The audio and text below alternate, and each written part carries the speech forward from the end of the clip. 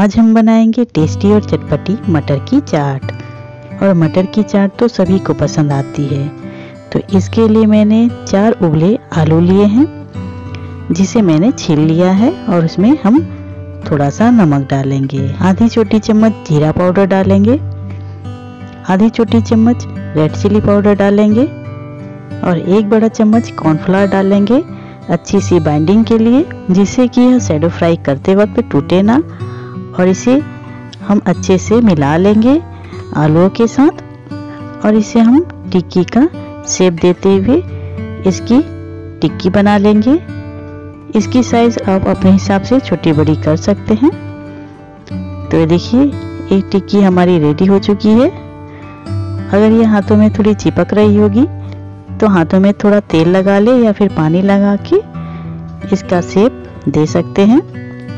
तो देखिए, इसी तरह से मैंने दूसरी टिक्की भी बनाकर रेडी कर ली है। और यहाँ देखिए, मटर भी अच्छे से बॉयल हो चुके हैं। तो इसके लिए मैंने मटर को रात भर ओवरनाइट सो करने के लिए रख दिया था। और नमक और हल्दी डाल करके दो से तीन सीटी मैंने कुकर में इसे लगाया है, ताकि वो अच्छे से सॉफ्ट हो जाए। तो चलिए, सबसे पहले हम इसकी टिक्की बना लेते हैं।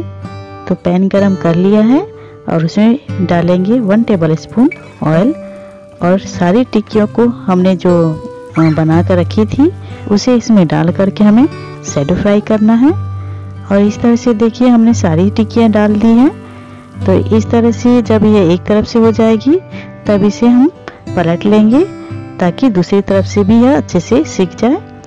और देखिए, जब इसमें अच्छे से इस तरह का गोल्डन ब्राउन कलर आ जाएगा तब हम इस टिक्की को निकाल लेंगे और उसी पैन में डालेंगे दो बड़े चम्मच सरसों के तेल और गर्म होने के बाद उसमें डालेंगे चॉप किए हुए मीडियम साइज़ के प्याज और उसे हल्का सा भुनेंगे। भुनने के बाद उसमें डालेंगे हम चॉप किए हुए एक मीडियम साइज़ के टमाटर। उसे भी हल्का सा डाल करके सोटे कर लेंगे। साथ में डालेंगे दो हरी मिर्च कटी हुई, एक छोटी चम्मच जीरा पाउडर, आधी छोटी चम्मच रेड चिली पाउडर, आधी छोटी चम्मच गरम मसाला पाउडर और इन सभी चीज़ों को हल्का सा भून लेंगे और अब इसमें डालेंगे हमने जो मटर बॉईल करके रखे थे उसे, इसे अच्छे से मिला लेंगे और थोड़ी देर इसे इसी तरह से पकाएँगे। स्वाद के अनुसार थोड़ा सा नमक डालेंगे। ध्यान रहे, नमक हम पहले भी डाल चुके हैं। इसे बॉईल करते वक्त इसलिए नमक थोड़ा कम ही डालें। तो लीजिए, तैयार है गर्मा गर्म मटर की चाट। इसके फ्लेवर को और भी बढ़ाने के लिए हम इसमें डाल लेंगे थोड़े से धनिया के पत्ते और इसे भी इसमें मिला लेंगे। और चलिए इसे निकाल लेते हैं। तो इसके लिए दो टिक्की हमने रख ली है और उसमें अपने बनाए हुए चाट डालेंगे। दोस्तों रेसिपी पसंद आ रही होगी तो लाइक करें चैनल को सब्सक्राइब करें बेल आइकन को हिट कर दें, ताकि मेरे आने वाले वीडियो के नोटिफिकेशन आप लोगों को आसानी से मिल जाए।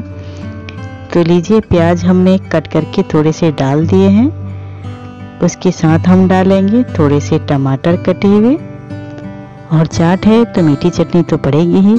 तो अपने टेस्ट के अकॉर्डिंग आप मीठी चटनी इसमें ऐड कर सकते हैं। साथ में हम डालेंगे एक बड़ा चम्मच ग्रीन चटनी और थोड़ा सा रेड चिली पाउडर थोड़ा सा भुना हुआ जीरा पाउडर और थोड़ी सी ग्रीन चिली कटी हुई। थोड़ा सा धनिया से इसकी गार्निशिंग कर देंगे। तो लीजिए, तैयार है चटपटी खट्टी मीठी मटर की चाट। तो आप भी इसे घर में बनाएँ और बताएँ कि आप लोगों को कैसी लगी।